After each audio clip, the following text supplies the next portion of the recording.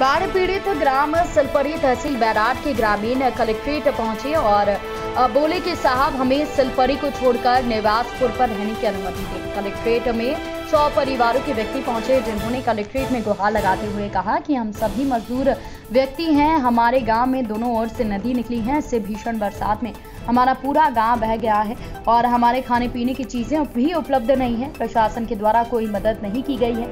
इसलिए आप गाँव छोड़कर अन्य स्थान पर अपने परिवार के साथ रहने की अनुमति लेने आए हैं जिससे हम वहाँ पर फिर से अपना जीवन यापन शुरू कर सकें। वास्तव कहाँ रहती हो? सिलपरी में। पड़ता है ये? ये पड़ता गोवर्धन। है हमारी समस्या ये है पूरा घर नष्ट हो गया अनाज नष्ट हो गया सब कुछ खेती बाड़ी भी नष्ट हो गई। हमको रहने के लिए कितनी जगह दी जाए और हमारी व्यवस्था की जाए। जो तैयार फ़सल थी आपकी वो नष्ट वो नष्ट हो गई। बिल्कुल भी नहीं है कुछ भी नहीं है। और शासन के द्वारा कोई हेल्प आपकी कोई मदद? अभी तो कोई कुछ नहीं है हमारे पास। खाने पीने का कोई सामान कोई सामान नहीं है। कोई सामान नहीं पहुँचा? बिल्कुल नहीं। है ये ज़रूर है कि कट्टे ज़रूर एक एक दिए हैं।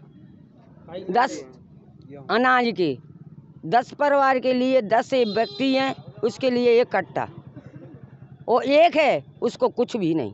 दो हैं उसको कुछ भी नहीं।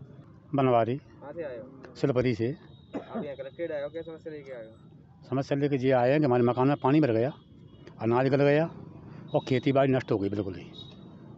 कितना नुकसान हुआ आपको? बहुत ज़्यादा हुआ है नुकसान। पूरी खेती में ये दाना नहीं है बिल्कुल ही।